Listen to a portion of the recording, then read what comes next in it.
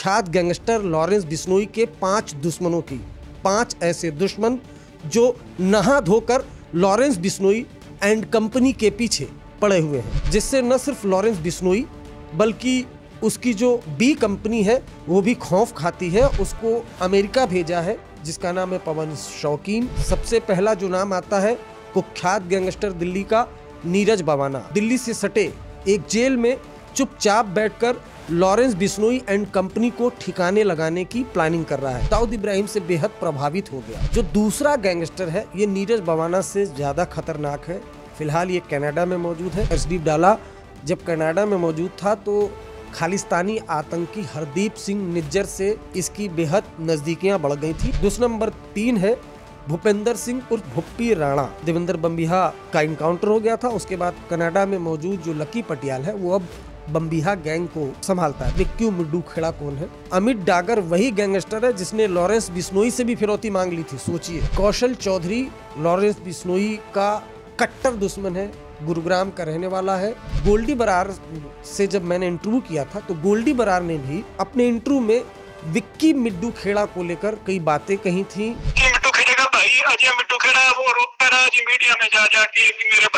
है कौशल चौधरी जो लॉरेंस बिश्नोई का दुश्मन नंबर वन है तो दोनों एक दूसरे के जानी दुश्मन है। जो लॉरेंस बिश्नोई के पिता थे वो पुलिस में नहीं थे। विक्की मिड्डू खेड़ा की दोस्ती लॉरेंस बिश्नोई से कॉलेज के ज़माने से थी। लॉरेंस बिश्नोई उसे बड़ा भाई मानता था। कई लोगों ने यह भी पूछा कि मैंने लॉरेंस बिश्नोई को गैंगस्टर क्यों कहा? तो, तो मैंने कुछ नहीं कहा।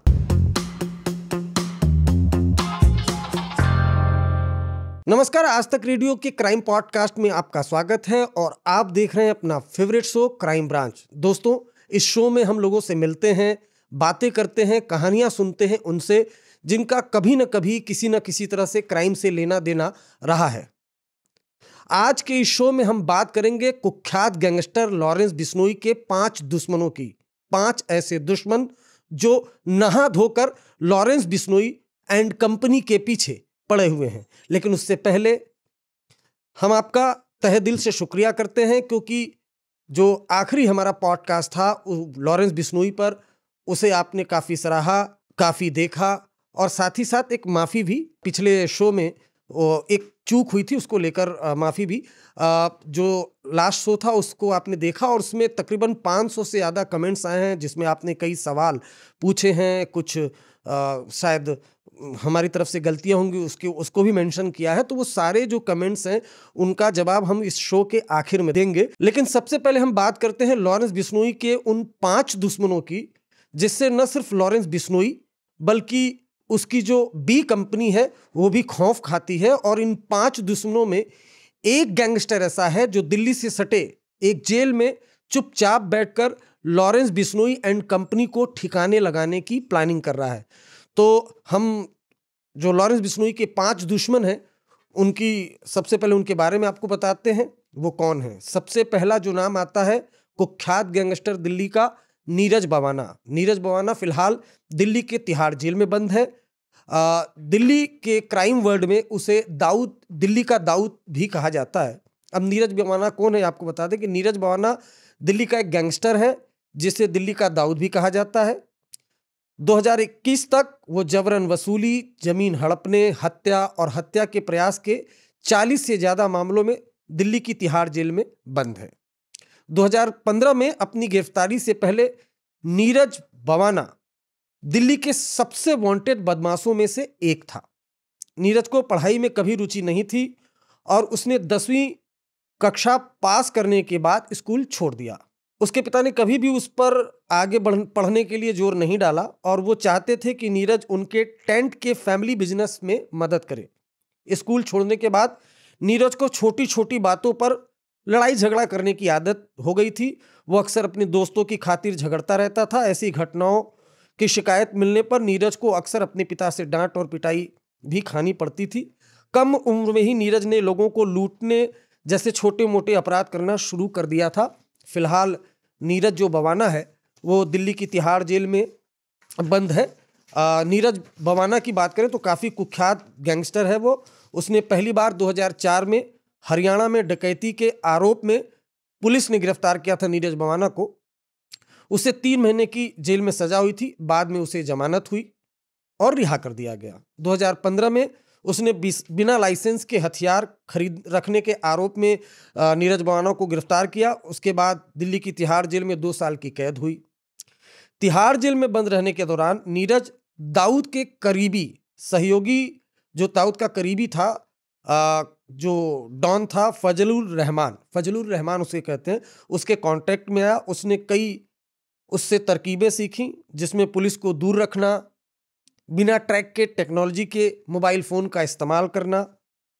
ये रहमान ही था जिसने दाऊद इब्राहिम दाऊद इब्राहिम की कहानियों से प्रभावित होकर बवाना को जबरन वसूली के धंधे में उतरने के लिए प्रेरित किया।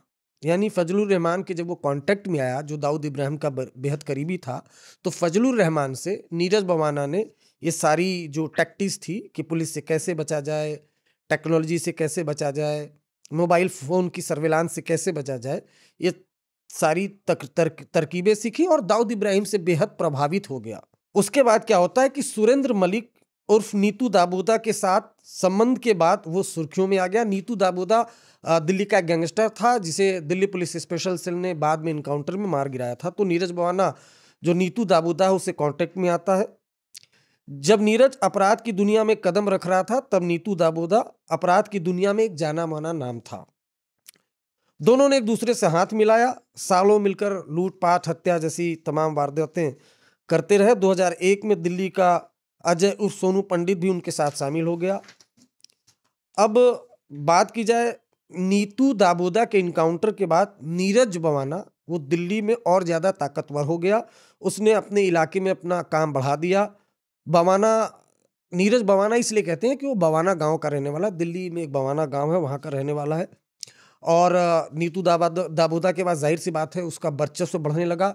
दिल्ली में ख़ासतौर से जो इंडस्ट्रियल एरिया है, वहाँ पर जो फैक्ट्री है, उनसे रंगदारी वसूलना, जो रंगदारी नहीं दे, उस पर गोली चलवा देना। तो इस तरह से जो नीरज बवाना है, वो एक्सटॉर्सन वसूल करने लगा। 2015 में जब वो बवाना गाँव में अपने घर जा रहा था, तब उसे दिल्ली पुलिस ने सुबह तकरीबन तीन बजकर पैंतालीस मिनट पर गिरफ़्तार किया था। बात की जाए दिसंबर 2019 में बवाना ने दिल्ली की तिहाड़ जेल के जेल नंबर दो के अधीक्षक को एक आवेदन लिखा था, जिसमें उसने आईपॉड, एफएम रेडियो और घर का खाना, मांसाहारी खाना मांगा था। अपने आवेदन में उसने लिखा कि चूँकि उसे तिहाड़ जेल में आइसोलेशन वार्ड में रखा गया है, इसलिए उसे समय बिताने और मानसिक संतुलन बनाए रखने के लिए इन चीज़ों की ज़रूरत है। 2021 में सागर राणा के हत्या के मामले में नीरज का नाम सामने आया था। कथित तौर पर बवाना ने अपने गिरोह के सदस्यों से झड़प के दौरान सुशील कुमार के साथ जाने को कहा था। सागर राणा एक रेसलर था तो ये कुल मिला के जो दुश्मन नंबर वन है नीरज बवाना, ये है लॉरेंस बिश्नोई का दुश्मन नंबर वन। जो दूसरा गैंगस्टर है, ये नीरज बवाना से ज़्यादा खतरनाक है। फ़िलहाल ये कनाडा में मौजूद है और इसका नाम है अर्शदीप सिंह उर्फ़ अर्श डाला। अर्शदीप सिंह फ़िलहाल कनाडा में मौजूद है और जो जानकारी आई है, एनआईए और दिल्ली पुलिस स्पेशल सेल के मुताबिक, ये पाकिस्तानी खुफिया एजेंसी आईएसआई के इशारे पर काम करता है। ऐसा आरोप है, ये हम नहीं कह रहे, कई इन्वेस्टिगेशन में सामने नाम उसका आया है। इसका पूरा नाम अर्शदीप सिंह उर्फ़ अर्शदीप सिंह गिल उर्फ़ अर्श डाला है। और आए दिन आप इसका नाम सुनते रहते होंगे, खासतौर से पंजाब में जो टारगेट किलिंग हो रही है, उसमें अर्शदीप डाला का नाम काफ़ी ज़्यादा आता है और ये भी बताया जाता है कि अर्शदीप डाला जब कनाडा में मौजूद था तो खालिस्तानी आतंकी हरदीप सिंह निज्जर से इसकी बेहद नज़दीकियाँ बढ़ गई थी और हरदीप सिंह निज्जर के साथ मिलकर अर्श डाला कनाडा में रहने लगा और वहाँ से पंजाब में लगातार टारगेट किलिंग को अंजाम दिलवा रहा था। अर्श डाला की बात करें तो अर्श डाला खालिस्तान टाइगर फोर्स और इंटरनेशनल सिख यूथ फेडरेशन जैसे आतंकी संगठनों से जुड़ा हुआ है। अर्श डाला, हत्या, जबरन वसूली जैसे अपराधों के साथ साथ आतंकी गतिविधियों जैसे आतंकवाद के वित्त पोषण फंडिंग जिसे टेरर फंडिंग कहते हैं, और सीमा पार से तस्करी में भी शामिल होने के लिए अर्शडाला को जाना जाता है। ड्रोन के ज़रिए पाकिस्तान से जो ड्रग्स आते हैं, जो हथियार आते हैं, पंजाब की साइड में, वो भी अर्शडाला का उसमें नाम आता है। अगस्त 2017 में मोगा पुलिस की मदद से अर्श डाला ने पासपोर्ट जो है वो हासिल किया और उसके बाद पुलिस क्लियरेंस उसको मिल गया था और वो 22 अक्टूबर 2018 को विजिटर वीज़ा पर पंजाब से कनाडा गया और बाद में स्थायी निवासी कनाडा का उसने हासिल कर लिया। कनाडा में आप जानते ही हैं कि जो गैंगस्टर हैं चाहे इंडिया से, पंजाब से फरार हो जाते हैं, उनको बहुत आसानी से वहाँ शरण मिल जाती है। कई जो आतंकी हैं, वो भी वहाँ कनाडा में पनाह लिए हुए हैं।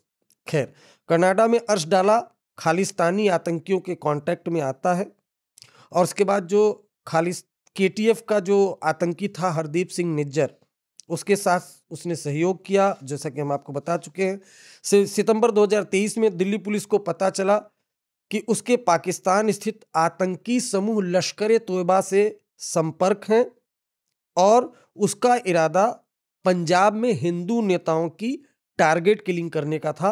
अक्टूबर 2023 में हरजिंदर सिंह उर्फ़ मेला, माल रोड एसोसिएशन के अध्यक्ष की भटिंडा में गोली मार के हत्या कर दी गई थी और अर्श डाला ने हत्या की ज़िम्मेदारी ली थी। डाला ने दावा किया था कि उसने भटिंडा में अपने मल्टी स्टोरी पार्किंग कॉन्ट्रैक्ट को लेकर विवाद के बाद मेला की हत्या की थी।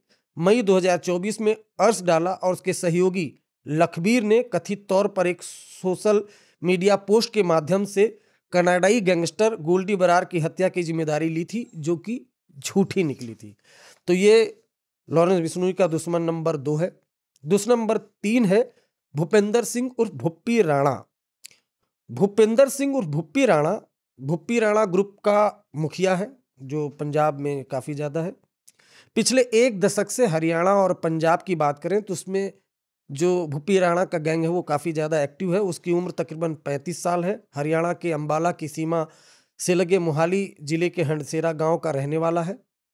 वो अम्बाला के एक निजी कॉलेज से ग्रेजुएट है। फ़िलहाल पटियाला जेल में बंद है भूपी राणा।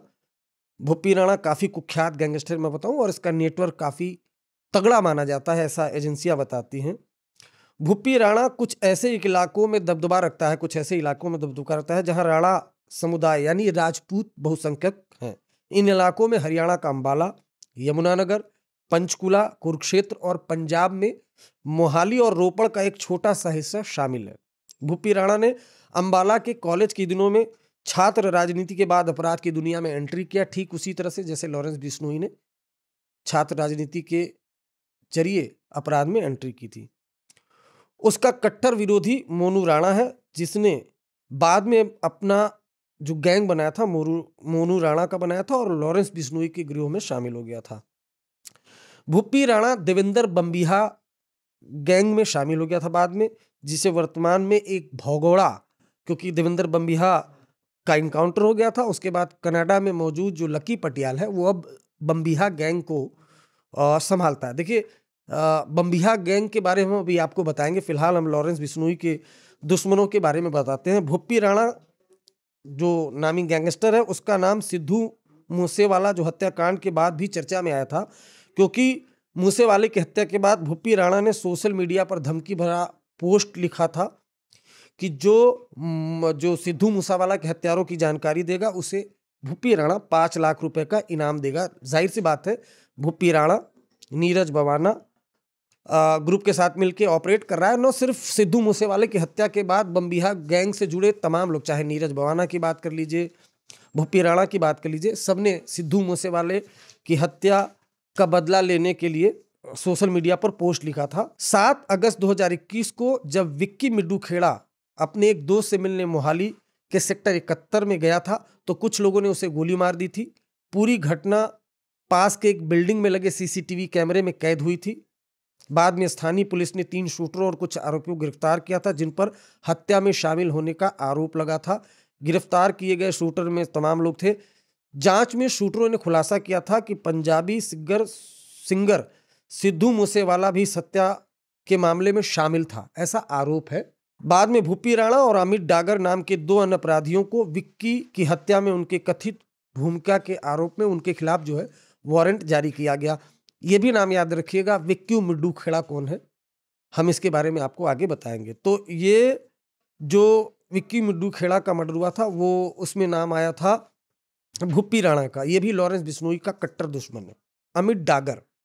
अच्छा जितने हमने आपको अभी तक नाम लिए, कुख्यात गैंगस्टर हैं, इनका नेटवर्क काफ़ी तगड़ा माना जाता है, इनके पास भी काफ़ी ज़्यादा शूटर हैं सफस्टिकेटेड वेपन्स हैं, ठीक वैसे ही जैसे लॉरेंस बिश्नोई गैंग के पास है। अब जो गैंगस्टर है, चौथा, जिसका नाम है अमित डागर अमित डागर गुरुग्राम के हरियाणा का रहने वाला है। अमित डागर वही गैंगस्टर है जिसने लॉरेंस बिश्नोई से भी फिरौती मांग ली थी, सोचिए। जो लॉरेंस बिश्नोई जिसका आप आजकल नाम सुनते होंगे बाबा सिद्दीकी की हत्या में उसके गैंग का नाम सामने आता है। सलमान खान के पीछे वो नहा धोकर पढ़ाई है। सलमान खान के गैलेक्सी अपार्टमेंट पर उसने फायरिंग भी करा दी थी। उस लॉरेंस बिश्नोई से अमित डागर ने एक वक्त में फिरौती मांगी थी। अमित डागर का कनेक्शन कौशल चौधरी गैंग से है। कौशल चौधरी, जो दिल्ली के गुरुग्राम जेल में बंद है, कौशल चौधरी पांचवा लॉरेंस बिश्नोई का दुश्मन है, जिसके बारे में हम आपको बताएँगे और विस्तार से बताएँगे। फ़िलहाल अमित डागर पंजाब में ही पुलिस रिमांड पर है और पिछले साल युवा अकाली नेता विक्की मिड्डू खेड़ा की हत्या के बाद से लॉरेंस बिश्नोई और अमित डागर के बीच विवाद चल रहा है। कौशल चौधरी लॉरेंस बिश्नोई का कट्टर दुश्मन है, गुरुग्राम का रहने वाला है। फ़िलहाल गुरुग्राम की जेल में बंद है। इसे दिल्ली पुलिस स्पेशल सेल और सेंट्रल एजेंसियों ने दुबई में पकड़ा था और दुबई से डिपोर्ट करके इसे दिल्ली लाया गया। दिल्ली एयरपोर्ट से गुरुग्राम पुलिस ने गिरफ़्तार किया था। तो ये आपने नाम सुने। नीरज बवाना, भुप्पी राणा, अर्श डाला, अमित डागर, कौशल चौधरी। ये वो पाँच ऐसे नाम हैं जो लॉरेंस बिश्नोई के कट्टर दुश्मन है। लॉरेंस बिश्नोई की गैंग के कट्टर दुश्मन है। ये पाँचों लॉरेंस बिश्नोई को हर हाल में मारना चाहते हैं। वहीं लॉरेंस बिश्नोई भी इनको हर हाल में मार देना चाहता है। अब कौशल चौधरी के बारे में सब कुछ बताने से पहले हम आपको एक चीज़ दिखाना चाहते हैं। ये अगर आप देखें तो ये दरअसल जो हमारे हाथ में कागज़ है, ये कागज़ है एनआईए की चार्जशीट का एक हिस्सा है, जिसमें लॉरेंस बिश्नोई ने जो अपना नेक्स्ट टारगेट क्या होगा किन किन को वो निशाना बनाना चाहता है, उनके नाम लिखे हैं। पहले नंबर पर है Salman Khan. Salman Khan target number one है लॉरेंस बिश्नोई का। इस दस्तावेज़ में साफ़ साफ़ लिखा हुआ है। सलमान खान के घर पर फायरिंग करवा चुका है लॉरेंस बिश्नोई। दूसरे नंबर पर है सगनप्रीत। सगनप्रीत कौन है? सगनप्रीत सिद्धू मूसे वाले जो सिंगर था सिद्धू मूसा वाला उसका मैनेजर था। विक्की मिड्डू खेड़ा की जब हत्या हुई थी तो उसमें ऐसा माना जाता है कि सगनप्रीत का रोल सामने आया था। और उसके बाद से सगनप्रीत को सिद्धू मूसेवाले ने पंजाब से जाने के लिए कह दिया था। फ़िलहाल सगनप्रीत, ऐसा बताया जाता है कि ऑस्ट्रेलिया में मौजूद है और लॉरेंस बिश्नोई और उसका गैंग सगनप्रीत को तलाश रहे हैं। जिस दिन मिलेगा, ऐसा उन लोगों ने दावा किया कि हर हाल में इस पर अटैक करेंगे। उसके बाद अगर आप देखें तो मनदीप धालीवाल मनदीप धालीवाल को भी लॉरेंस बिश्नोई बिक्की मिड्डू खेड़ा के मर्डर के में तलाश रहा है। उसके बाद आता है कौशल चौधरी। कौशल चौधरी, जिसके बारे में हम आपको बताने वाले हैं कुछ देर में, कौशल चौधरी को भी लॉरेंस बिश्नोई मारना चाहता है क्योंकि विक्की मिड्डू खेड़ा की हत्या में इसका नाम सामने आया था। उसके बाद अमित डागर, जिसके बारे में हमने आपको बताया, अमित डागर को भी लॉरेंस बिश्नोई इसलिए मारना चाहता है क्योंकि विक्की मिड्डू खेड़ा की हत्या में इसका नाम आया था। अच्छा जैसा हमने बताया कि कौशल चौधरी के बारे में हम आपको बताएँ, कौशल चौधरी वो जो लॉरेंस बिश्नोई एंड कंपनी के सफ़ाई की पूरी प्लानिंग रच चुका है। लेकिन उसके पहले हम आपको बताते हैं कि दरअसल लॉरेंस बिश्नोई एंड कंपनी और बम्बीहा गैंग, जिसमें तमाम ये गैंगस्टर आते हैं, इनके बीच की दुश्मनी की अभी हाल फ़िलहाल में जो सबसे बड़ी वजह सामने आ रही है, जिस वजह से सिद्धू मूसे वाले का कत्ल भी किया, ऐसा लॉरेंस बिश्नोई ने दावा किया, ये सारे दुश्मन इसलिए बने हैं लॉरेंस बिश्नोई के क्योंकि विक्की मिड्डू खेड़ा जिसका मोहाली में कत्ल हुआ था वो लॉरेंस बिश्नोई उसको अपना बड़ा भाई मानता था। विक्की मिड्डू खेड़ा का मर्डर हुआ और मर्डर को अंजाम बम्बिहा गैंग ने दिया था जिसमें कौशल चौधरी का भी रोल सामने आता है अमित डागर का भी रोल सामने आता है सिद्धू मूसेवाला के मैनेजर शगन प्रीत का भी रोल सामने आता है। और गोल्डी बरार से जब मैंने इंटरव्यू किया था तो गोल्डी बरार ने भी आ, अपने इंटरव्यू में विक्की मिड्डू खेड़ा को लेकर कई बातें कही थी कि विक्की मिड्डू खेड़ा का कत्ल कैसे हुआ था?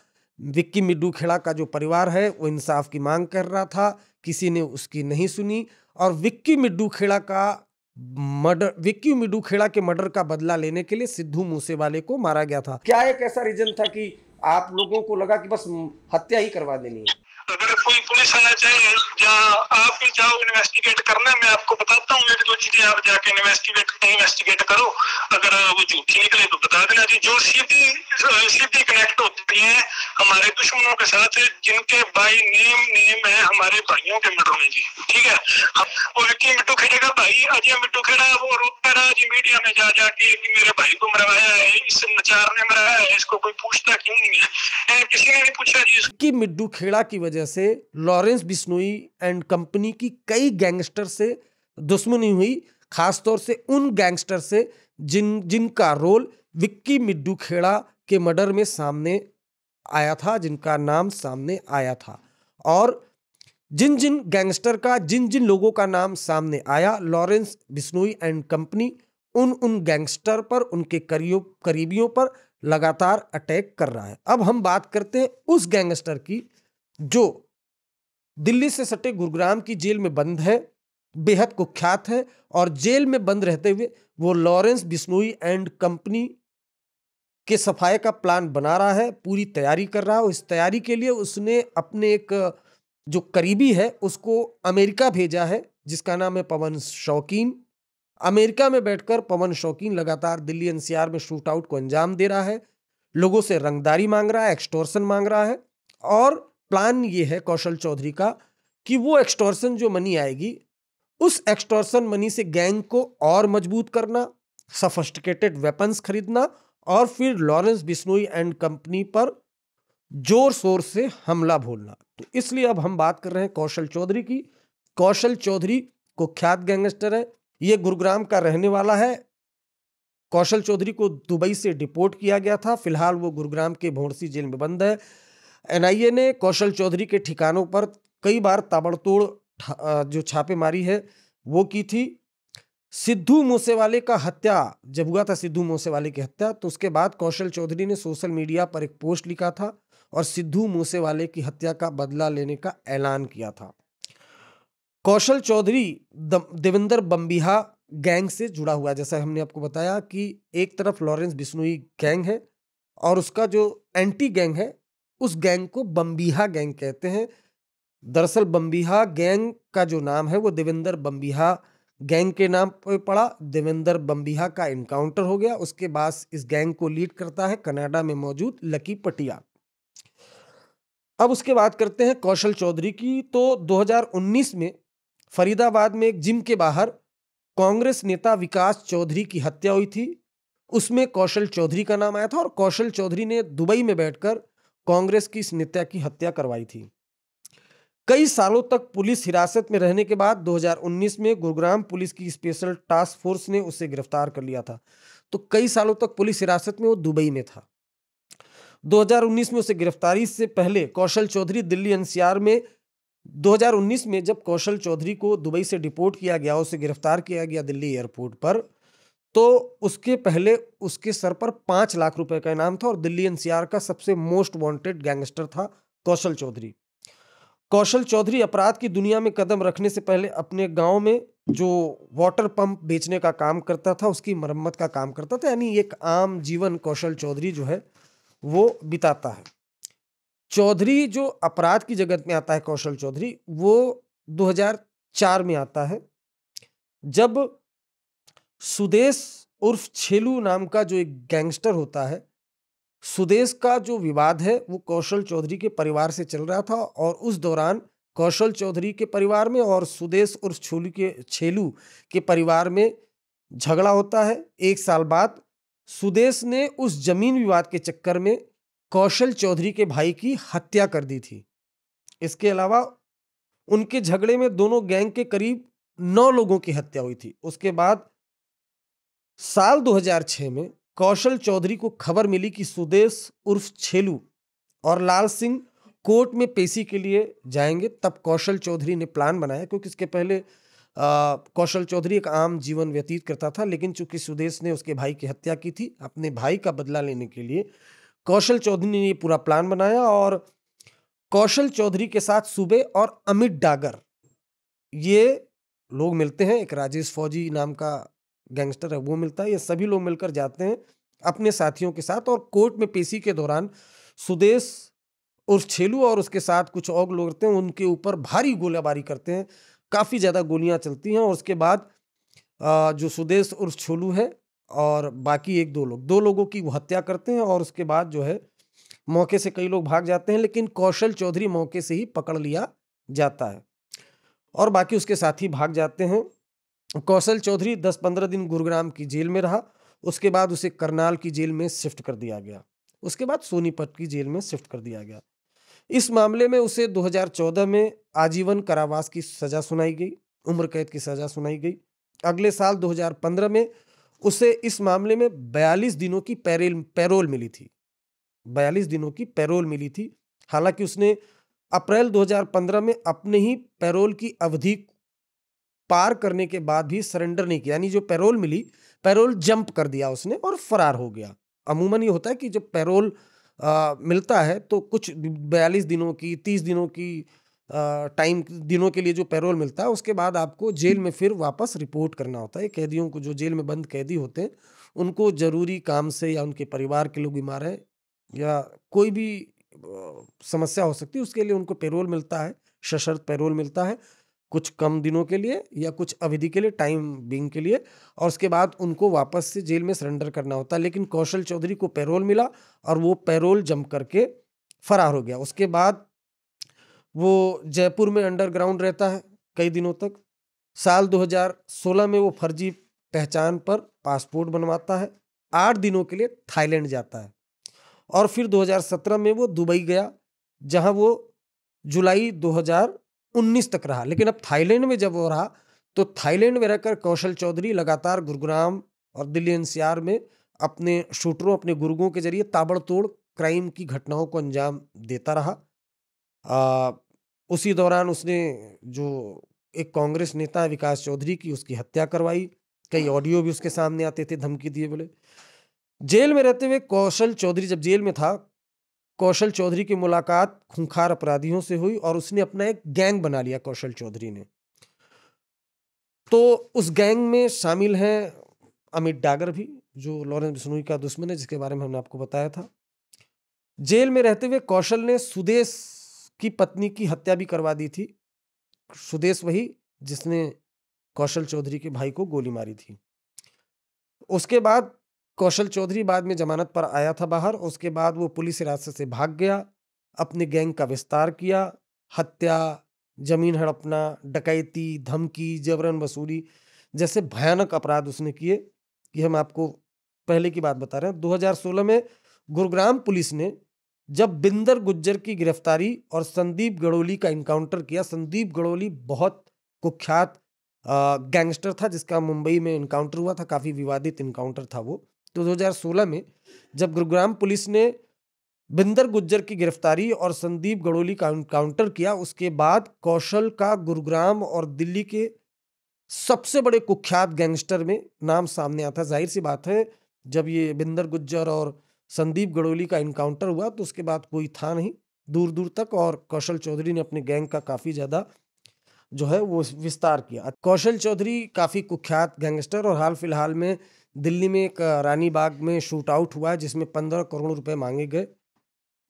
वो शूट आउट में शामिल दो शूटरों को दिल्ली पुलिस स्पेशल सेल ने गिरफ़्तार किया।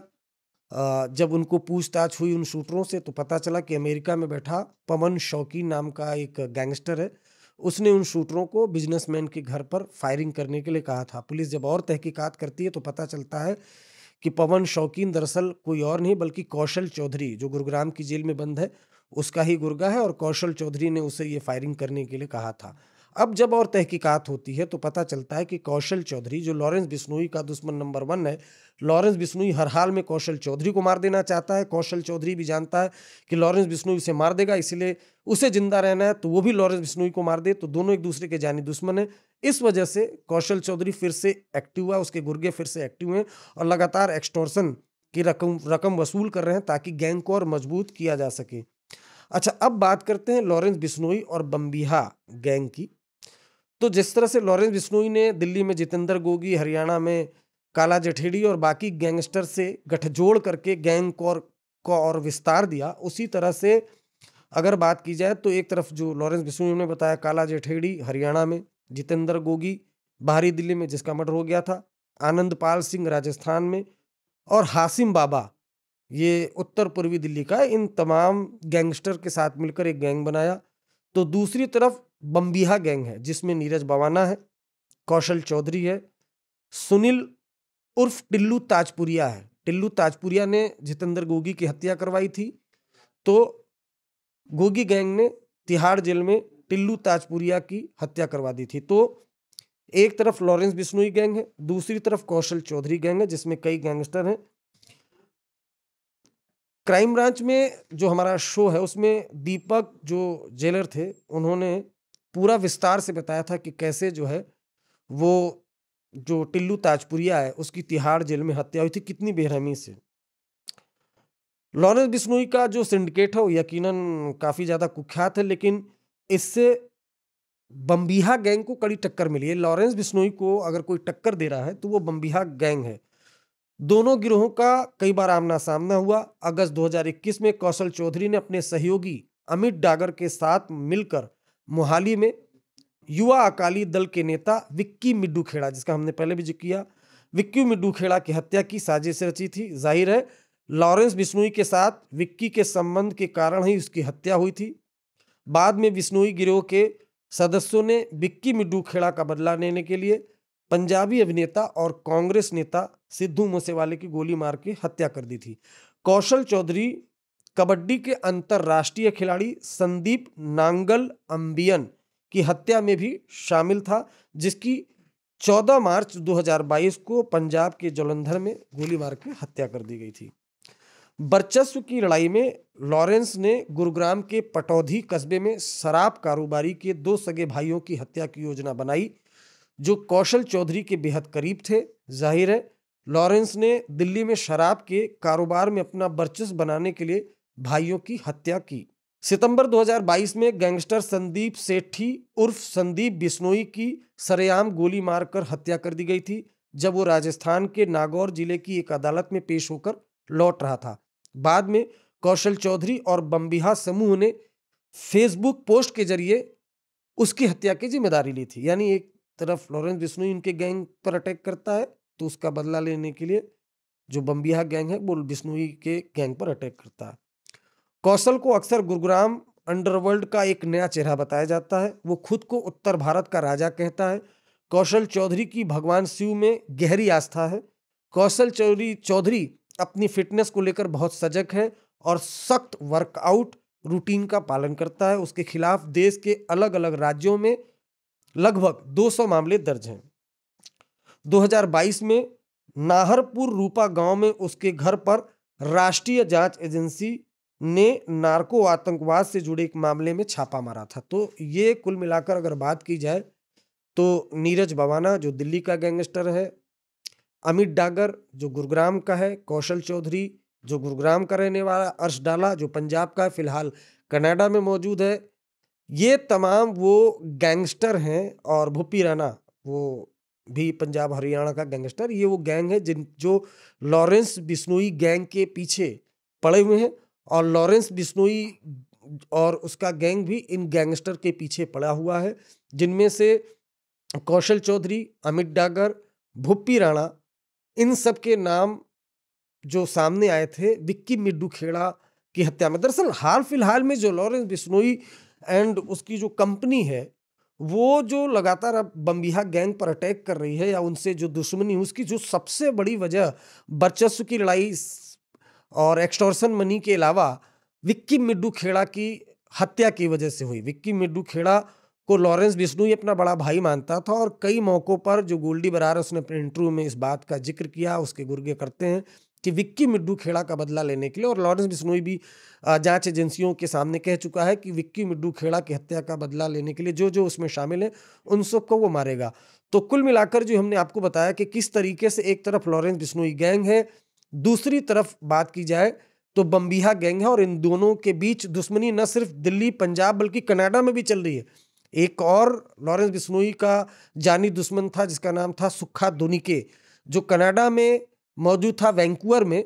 अभी 2023 में लॉरेंस बिश्नोई गैंग के शूटरों ने कनाडा में सुखा दुनके की, वैंकूवर में उसके घर में घुस के हत्या की थी और सुखा दुनके का नाम भी विक्यू मिडूखेड़ा की हत्या में शामिल था। तो लॉरेंस बिश्नोई और बम्बिहा गैंग के बीच लगातार जो गैंग वॉर है वो चल रहा है, न सिर्फ़ देश में बल्कि विदेशों में। तो ये हमने आपको कहानी बताई लॉरेंस बिश्नोई के पाँच दुश्मनों की, जो लॉरेंस बिश्नोई एंड कंपनी के पीछे नहा धोकर पड़े हुए हैं।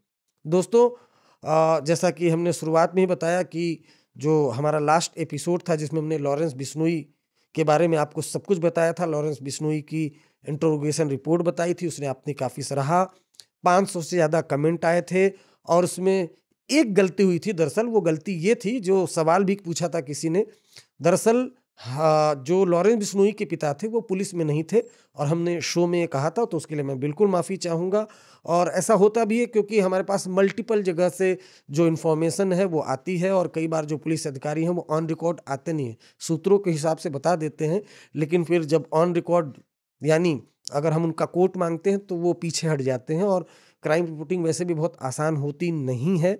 और आपको ये भी बता दूँ कि जो सोशल मीडिया के ज़रिए आपको जितनी भी जानकारी मिलती है, वो हम जैसे जो रिपोर्टर्स हैं, वही निकल, निकाल करके लाते हैं। उसके बाद वो कहानियाँ अलग अलग लोग अखबार पढ़कर या हमारी, हमारे जैसे रिपोर्टर की रिपोर्ट पढ़कर वो कहानियाँ सुनाते हैं। लेकिन एक्चुअल ग्राउंड रिपोर्टिंग करना काफ़ी टफ होता है और इन्फॉर्मेशन जो इन्फॉर्मेशन निकालनी होती है, वो सबसे ज़्यादा टफ होती है। इन्फॉर्मेशन रिपोर्टर्स निकालता है, उसके बाद सोशल मीडिया पर तमाम लोग उसके ज़रिए व्यूज़ बटोरते रहते हैं।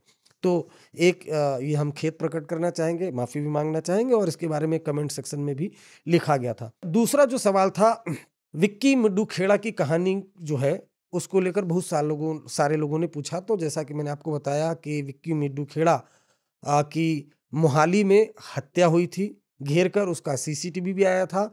हम ये कोशिश करेंगे कि जो सीसीटीवी फुटेज का जो एक ग्रैब है, वो ज़रूर इस शो में आपको दिखाएँ कि बड़ी बेरहमी से विक्की मिड्डू खेड़ा की हत्या हुई थी और विक्की मिड्डू खेड़ा की दोस्ती लॉरेंस बिश्नोई से कॉलेज के ज़माने से थी। लॉरेंस बिश्नोई उसे बड़ा भाई मानता था, लेकिन जो बिश्नोई के जो एंटी गैंग के लोग थे, वो ये मानते थे कि लॉरेंस बिश्नोई को आर्थिक तौर पर और बाकी चीज़ों में सपेट सपोर्ट जो है विक्की मिड्डू खेड़ा करता है। इसलिए बम्बिहा गैंग के कई लोगों ने मिलकर जिसमें कौशल चौधरी अमित डागर भुप्पी राणा अर्श डाला ये सभी ने मिलकर एक प्लान बनाया। किसी ने किसी गैंगस्टर ने अपने शूटर दिए कोई हथियार दिया। उसी में सिद्धू मूसे वाले आ, का जो मैनेजर था शगन प्रीत सिंह उसका भी नाम सामने आया। उसने विक्की मिड्डू खेड़ा के जो शूटर थे, उनको शेल्टर दिया। तो इस तरह से पूरी योजना बनाई गई और उसके बाद मोहाली में दिन दहाड़े विक्की मिड्डू खेड़ा की हत्या कर दी गई थी।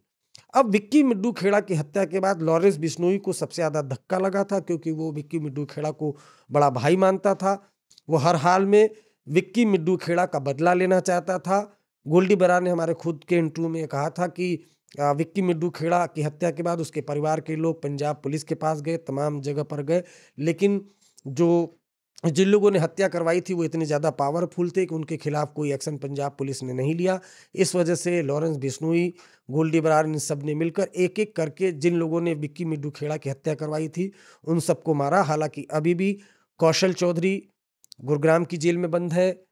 उसको मारना चाहता है, उसका भी रोल विक्की मिड्डू खेड़ा की हत्या में आया था, अमित डागर का भी रोल विक्की मिड्डू खेड़ा की हत्या में आया था, शगनप्रीत सिंह, जो सिद्धू मूसेवाला का मैनेजर है, वो फ़िलहाल ऑस्ट्रेलिया में छुपा हुआ, उसको भी लॉरेंस बिश्नोई एंड कंपनी तलाश रही है।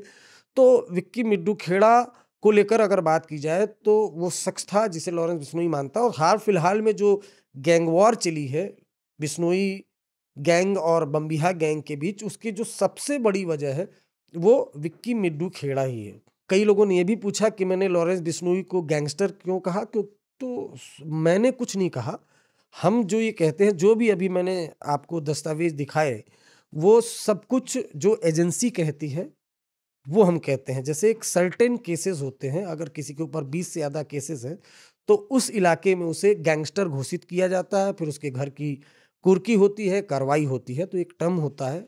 हम नहीं कहते गैंगस्टर कानून कहता है। भले ही उस पर आरोप हों, अभी हाल में एक लॉरेंस बिश्नोई पर जो उसका दूसरा केस था अपराध की दुनिया में, उसमें 307 का, उसमें लॉरेंस बिश्नोई को बरी भी कह दी कर दिया गया।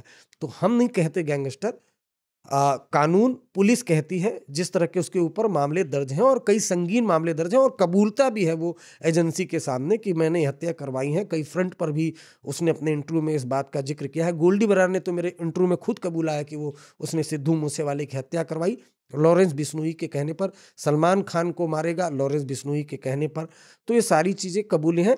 लॉरेंस बिश्नोई के खिलाफ आतंकवाद रोधी जो धाराओं में केस भी दर्ज है यूएपीए में एनआईए का दावा है कि लॉरेंस बिश्नोई खालिस्तानी जो आतंकवादी हैं, उनसे उसका कटजोड़ है और वो इस तरह से पंजाब में लगातार ताबड़तोड़ वारदातें कह रहा है। तो हम कुछ नहीं कह रहे किसी को कि लॉरेंस बिश्नोई गैंगस्टर है, जो कानून कहता है, जो पुलिस कह रही है, वही हम आपको बताते हैं, जो दस्तावेजों में जो एक्चुअल रिपोर्ट है।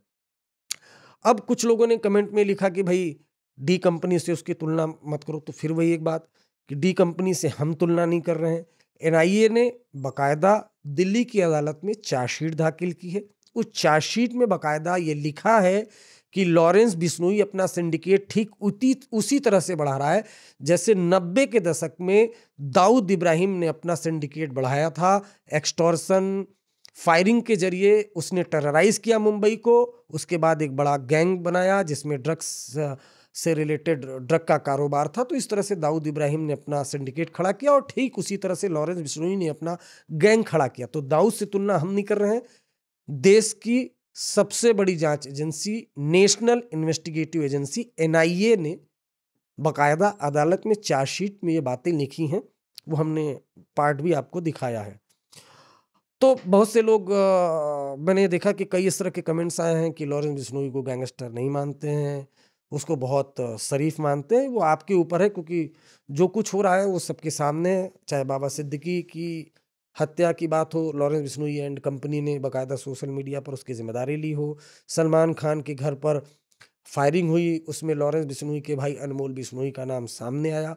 तो हम जो आपको जानकारी देते हैं, वो अपराध से जुड़े कुछ लोगों से जो बातचीत हम करते हैं, क्योंकि क्राइम रिपोर्टर के कई सोर्सेज होते हैं, कई बार पुलिस होती है, कई बार क्रिमिनल्स होते हैं तो अलग अलग जगहों से हम इंफॉर्मेशन जुटाते हैं जो बहुत आसान होता नहीं है। चौबीस चौबीस घंटे अड़तालीस अड़तालीस घंटे जागने के बाद वो इन्फॉर्मेशन जुटाई जाती है। तो ये वो तमाम चीज़ें थी जिसमें एक जो चूक थी, वो वो ये चूक थी कि जो लॉरेंस बिश्नोई के पिता हैं वो पुलिस में नहीं थे, वो एक जमींदार थे।